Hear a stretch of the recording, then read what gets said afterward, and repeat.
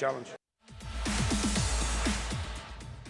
إبراهيم العنقري مع جيرارد ولا رامي تونسي؟ فوز باهت ولا زي ما يشوفوا جيرارد إنه كان أداء ممتع؟ شوف آه، خلينا نكون صريحين يعني رامي يقول فوز باهت. أنا أتفق ولكني أقول إنه فوز لا يحكي الواقع وقد يكون مخاطئ. يعني أنا أستغرب تصريح المدرب الآن لما يقول كنا وكنا وكنا أنت أنت شايف المباراة يا كابتن؟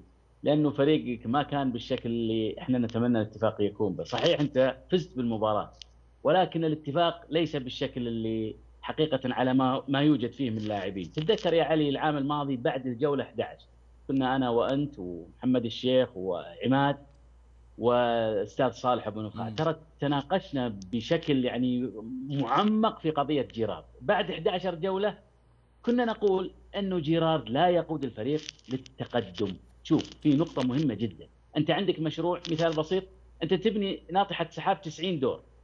تبنيها في خلال ثلاث سنوات. يجب أنك في السنة الأولى مثلا وصلت إلى مرحلة معينة السنة الثانية مرحلة معينة. فأنا أمشي معك على حسب الأيام والمسار في العمل. أنا أشوف جيرارد ما يتطور الفريق معه.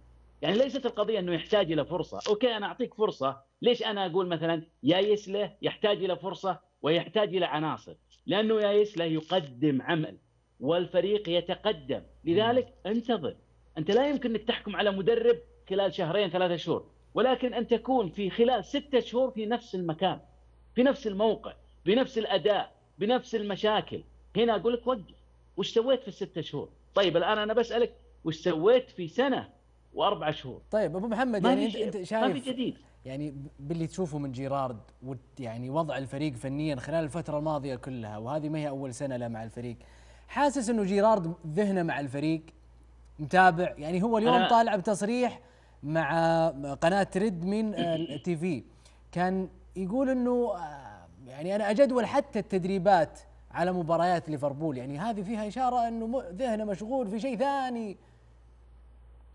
يعني هذا حقيقة أولا لا يحترم عمله. إذا كان يقول ذا الكلمة فهو لا يحترم عمله. لأنه أي إنسان عمله رقم واحد. أنا عملي رقم واحد وهو المقدم.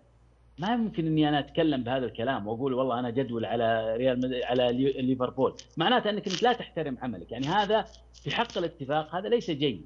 اللي أهم يا أخوي علي الآن دوري المحترفين الإنجليزي بدأ في عام 92 الآن 34 نسخة. من هو المدرب الإنجليزي اللي فاز بهذا الدوري؟ ترى ولا مدرب إنجليزي. أعطيك سؤال أصعب. عطني مدرب إنجليزي متميز في العالم. الإنجليز في الإدارة قد يكونون من أوائل العالم. ولكن ترى في إدارة آه، آه، كرة القدم أو في الإدارة الفنية في كرة القدم ما في إنجليزي متميز. حتى الأرقام اللي حققها مانشستر اللي حققها السيتي اللي حققها ليفربول ولا مدرب إنجليزي. لذلك يجب أن نعرف أنه الإنجليز جيدين في الإدارة في الشركات لكنهم ليسوا جيدين في إدارة كرة القدم. نعم. في إدارة فريق كرة القدم. أنا لا أرى مستقبل حقيقة لجيرارد مع الاتحاد رامي؟ لا وأزيدك من الشعر بيت. يعني جيرارد أغلى مدرب في دوري روشن أغلى من جيسوس. أنت تتكلم هذا آه هذا المدرب المفروض يعطيني الإضافة. اليوم غير في الاتفاق أكثر من 30 لاعب بين العام والسنة.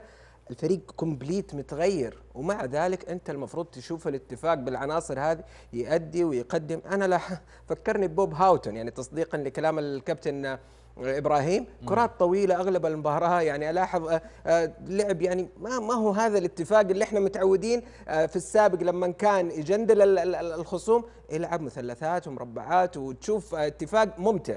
ولكن مع جيرارد إلى الآن فريق ينقص الكثير فنيا. أبو بدر أحمد